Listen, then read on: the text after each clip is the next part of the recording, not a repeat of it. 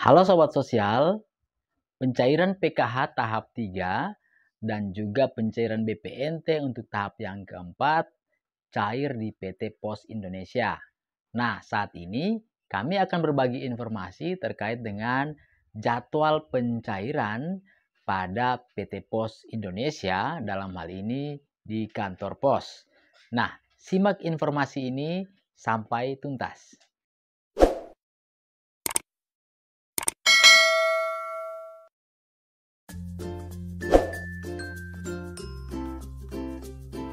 Assalamualaikum warahmatullahi wabarakatuh. Shalom, salam sejahtera dan Om Swastiastu Halo Sobat Sosial, apa kabarnya saat ini?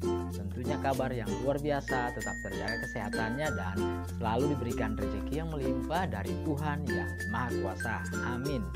Nah, Sobat Sosial, kali ini berbagi informasi terkait dengan jadwal pencairan di PT Pos Indonesia. Namun sebelum melanjutkan informasi ini, bagi yang baru bergabung mohon dukungannya untuk menekan tombol subscribe. Jangan lupa aktifkan tombol loncengnya sehingga sobat sosial bisa update info terbaru dari channel ini. Bagi sobat sosial yang merasa info ini bermanfaat silahkan di-share ke media sosial yang lain. Dan bagi sobat sosial yang ingin bertanya langsung saja pada kolom komentar YouTube. Nanti kami akan membantu menjawab lewat chat juga bisa dijawab lewat video-video yang terbaru. Bagi yang sudah like, share, komen, dan subscribe, kami mengucapkan banyak-banyak terima kasih. Oke, kita langsung melanjutkan informasinya. Nah, Sobat Sosial, kabar gembira saat ini bahwa pencairan PKH di tahap yang ketiga dan BPNT yang keempat.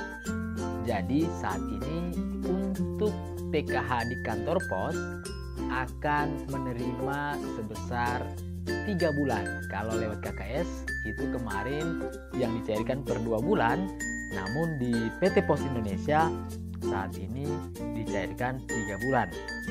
Begitupun dengan bantuan BPNT sembako juga dicairkan tiga bulan. Jadi yang akan diterima di kantor pos adalah 600 ribu rupiah.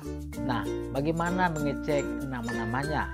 Nah, tentunya sobat sosial sebelum melakukan proses pencairan di kantor pos, sobat sosial harus memastikan bahwa nama sudah masuk dalam data bayar. Artinya, sobat sosial harus mendapatkan undangan pencairan dari PT Pos Indonesia. Biasanya undangan itu e, dilakukan bekerja sama dengan pihak kelurahan ataupun dengan e, pendamping masing-masing. Nah, kalau misalnya sobat sosial ingin mengecek nama, sobat sosial bisa langsung ke kantor pos, bisa juga langsung ke kelurahan atau desa, bisa juga langsung ke pendamping PKH untuk memastikan apakah sudah masuk dalam data bayar untuk pencairan di PT Pos Indonesia. Nah, sobat sosial, saat ini kami sudah memegang jadwal untuk proses pencairan melalui kantor pos untuk wilayah eh, Kabupaten Poso, Sulawesi Tengah. Nah, di daerah dampingan kami di Kecamatan Pamonotara saat ini itu sudah dikirim nama-nama dari pihak PT Pos Indonesia yang akan melakukan proses pencairan di kantor pos.